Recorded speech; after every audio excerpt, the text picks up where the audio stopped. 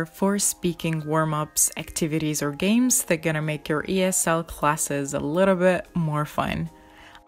I made sure that these four activities are so easy to do because I feel ya, dear follow teachers. Being a teacher takes up all of your time, so I'm here to save some of your precious time and at the same time help you have great classes. All of these games were tried and tested in many of my classes, and students got really engaged.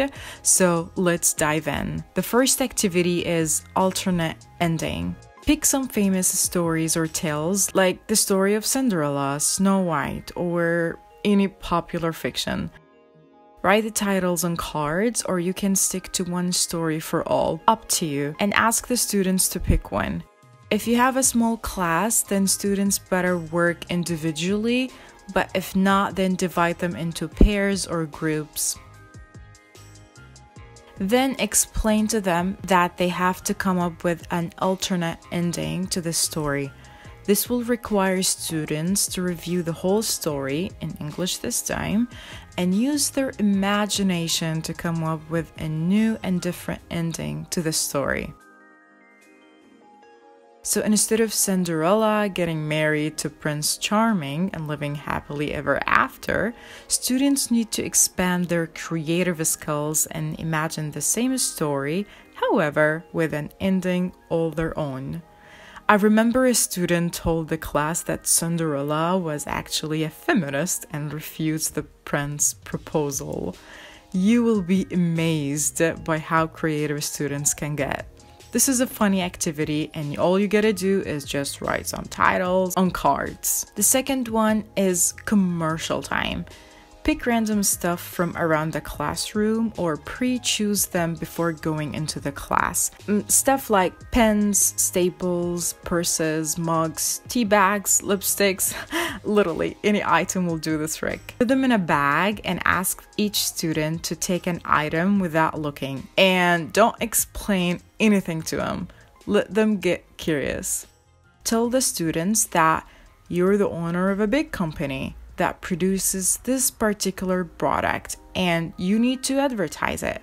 What would you say? How would you describe it? What would you do to convince the consumers to buy it? Let them know about homophones, rhyme, catchy phrases, and slogans. This is a really good life skill activity, and students have always enjoyed it. 3. Role plays.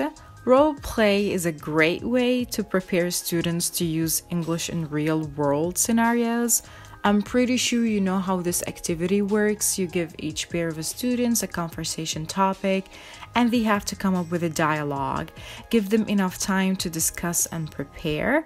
I'm gonna share with you some fun everyday dialogues that I've been using with my students. The first one, the setting is a phone call between two friends and phoning a friend inquiring about a job position. The second one is at a store, a mother and a daughter, and they're shopping for a dress for a birthday party. This one is a pretty good actually. The third one is more practical, an interviewer with an interviewee and the topic is obviously a job interview. The fourth one is my favorite, and I feel shameful to say that, but I said it anyway. It's like two neighbors sipping coffee together in the morning and gossiping. The fifth one is so funny a father and a son or a mother and a daughter, whatever, and like one of the parents teaching math to their child. The sixth one is cheesy a waiter and a customer, and the customer complaining about the food. The seventh one is also a favorite because you get the students to be in your shoes. So it's like basically a teacher and a student, and the student complaining about his or her mark. The last one is in a taxi between a driver and a passenger, and the topic is given directions. The last activity is two words for two minutes. Let me explain. You'll distribute some cards that has two to three words maximum, like these ones.